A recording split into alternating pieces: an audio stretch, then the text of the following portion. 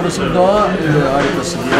Türkiye'nin en büyük kayak merkezi e, ve e, metropole, İstanbul gibi metropole en yakın bir kayak merkezi. E, Körfez kokusu olduktan sonra işte Uludağ, Uludağ'a gelmek e, aşağı yukarı iki buçuk e, maksimum üç saatte olabiliyor.